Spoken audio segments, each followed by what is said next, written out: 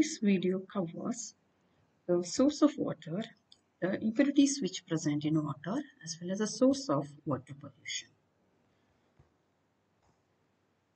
Uh, water is the most widely used chemical compound on the earth. As we know, uh, in, every, in everyday life, we need water. So, but the useful water quantity is very, very less. The useful water or the content is only around uh, 0.6 to 10%, not more than that. So most of the water that's around in the earth, it covers around 72% of the uh, earth surface uh, is covered with the water. Uh, in the 72%, 92% is located in the form of ocean. About 2.1% is in the form of ice or glaciers and available fresh water, which is uh, normally in the form of river, lakes or underground amount is only 0.6%. And the remaining 1% of water is in the form of wells or even what we considered as a salty water. Okay. And the source of water. Uh, the source uh, we broadly classified into two categories. The one is surface water source and the one is a underground water source. The surface water source, under surface water source, we observe uh, four categories. Uh, we broadly classified into uh, four category. Uh, it may be either in a still form or in flowing form. The one form of water, surface water, is a rainwater, as you know. It is a purest form of water contain considerable amount of dissolved uh, gases and suspended solid particles. From the atmosphere during its downward journey, uh, we observe it may absorb some particles. It is the purest form produced from and it is produced from evaporation of surface water that you know. The second category of water is a river water. This river water usually contained uh, dissolved mineral of the soils such as a chloride, sulfate, bicarbonates of sodium, uh, calcium, magnesium and even iron and also some organic compounds. So usually this river water is nothing but it is fed by rain or spring water contains dissolved minerals as well as uh, uh, less load of organic matter. The third form of water is a still water that is a lake water. It, it also uh, originated uh, by the rain water or the spring water, contains less dissolved mineral but contains high quality of uh, organic matter. The fourth form of water that is a sea water. The salty water, most impure form of the uh, uh, water of natural water. It contains about 3.5% of dissolved salt out of which about 2.6% is in the is uh, sodium chloride. Other salts are sulfates of sodium, bicarbonates of potassium, magnesium, aluminium, bromide, potassium and magnesium. Number of other components also present. That is around uh, 3.5% we observe dissolved salt. It is a source of highly salty in nature. So these are the origin of surface water. Now I consider the groundwater. You can so uh, we can you can show uh, see the springs. These are naturally coming up free deep down on the earth. That is a spring water. And the thing is the wells and the tube wells. Uh, these sources are formed by digging earth deep down or near underground sources. So this is what we considered as a purest form of uh, water and used in most of the uh, uh, work. These waters are used for our daily life. Then, now I consider the second things that is impurities in water. The water found in nature is never pure, which contain large number of impurities in varying degree or varying amount. They may be broadly classified into four categories. The main source of impurities, the water takes up impurities from the, uh, you know, the ground soils or when it contact with the sewage or industrial waste, organic impurities, etc. So based on this, we categorized into uh, four categories. So that may be a residual uh, chlorine may be present, bacteria particles, sedimented particles, chemical substance, organic matter. So there, there are plenty of waste may be introduced to the uh, water so that water becomes impure. What, I, what we expect is it should be a pure one, but unknowingly we may introduce some uh, extraneous or a foreign material to the water and it becomes impure one. The main classification is a dissolved gas. The first classification or the things is based on gases which absorbed by the water. This includes dissolved oxygen, carbon dioxide, sulfur dioxide, ammonia. Even it contains ammonia, sulfur compounds such as hydrogen sulfide which impart foul smell to water due to purification of organic matter. They decays the organic matter, so it imparts, uh, it changes into hydrogen sulfide. As a result, it gives a foul smell. All derived from the atmosphere. It when it when the downward journey of the water, it may interact with the atmospheric gases and takes uh, the atmospheric gases or dissolves in the water and uh, it get contaminated. Then dissolved solids. The water may become impure due to the presence of large quantity of unwanted uh, solids like uh, dissolved salts like uh, uh, carbonates, bicarbonates, chlorides and sulfates of calcium, magnesium, iron and even potassium oxide, magnesium, iron, lead, arsenic may also present in water. So these salts are derived from rock and salts which uh, with which the water is in contact. In generally, groundwater contains more dissolved salts than the surface water. Then third form of water is a uh, impurity is a suspended impurities.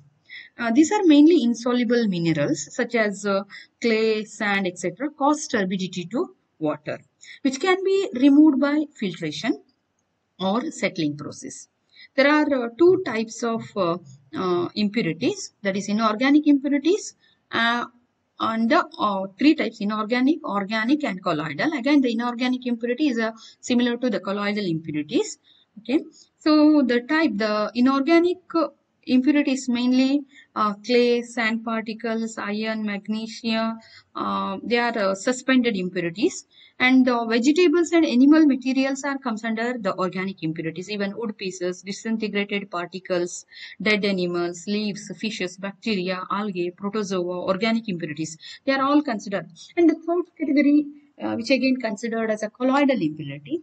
This type of impurity gives turbidity to water and derived from suspended impurities. Then fourth category of uh, impurity that is microscopic matter which causes waterborne diseases. The pathogenic bacteria and microorganisms are also present in water. It usually causes waterborne diseases. Now, now I consider how the uh, what are the sources for water pollution and what do you mean by a polluted water the polluted water or a water pollution is defined as any alteration in physical, chemical and biological properties of water as well as a contamination with any foreign substance which would constitute a health hazardous or uh, otherwise it decreases the utility of water. There comes under uh, uh, water, that, that water we considered as a polluted water. Any alteration in physical, chemical and biological properties of water as well as contamination with any foreign substance which would constitute a health hazardous or decreases the utility of water, they comes under water pollution or that water is considered as a contaminated one. The physical changes may be, uh, it may be the change of color or odor or turbidity or the change of temperature. Chemical characteristics that is uh, water, sewage, uh, usually it may contain high percentage of uh, solid waste, suspended, dissolved form of waste may be present. It may contain some complex organic compounds, nitrogen containing compounds. They are also considered as a, chemical changes and the biological changes is mainly due to the growth of algae, algae, bacteria, fungi, protozoa or usually it helps to breaking the complex compound into a simple compounds bacteria help to make uh, this one. And broadly these things are the water we considered as a contaminated water. So how the water gets polluted? In a various way the water gets polluted. Uh, uh, they considered the water may get polluted due to uh, uh, the most diversing effect of industrial waste. That uh, diversing effect of industrial waste that leads to pollution uh, of water. For many industrial process, water is used which comes in contact with the harmful chemicals. And these chemicals may include organic compounds, metals, nutrients, even radioactive materials, etc. And uh, if the water is discharged after treating with the, uh, uh, or after the processing, uh, the wastewater is discharged without treatment. Groundwater and surface water bodies, lakes, streams, these come in contact with this waste and can become polluted. And it in turn affects the serious problem and uh, even it ha harmful to the drinking source of water. The polluted may degrade or destroy the uh, animals and even the plants. So they will be classified like a, a domestic sewage uh, like uh, the sewage or the waste which is released from the uh, domestic the release of municipal or domestic waste into rivers and lakes contribute to water pollution. It may contains uh, uh, human waste or kitchen waste street waste organic substance etc usually it causes a waterborne disease. You can see the picture. So how the waste is uh, introduced to the water. Actually, uh, the, these waters are pure. When we introduce uh, plenty of uh, uh, unwanted components to this water, it becomes uh, impure one. Then second possibility is the industrial water. The release of industrial water is a waste produced by industrial activity which includes any materials which is rendered useless during manufacturing process. Uh, such as uh, factories like mining operation etc and the uh, types of water uh, the industrial waste uh, which includes even dirt gravels machinery concrete scrap metals oil solvent chemicals um, even vegetable matters from the restaurant. So these all are introduced to the water or the river. As a result the river water becomes unwanted one the industrial waste may be solid, semi-solid or a liquid form. It may be hazardous waste or non-hazardous one.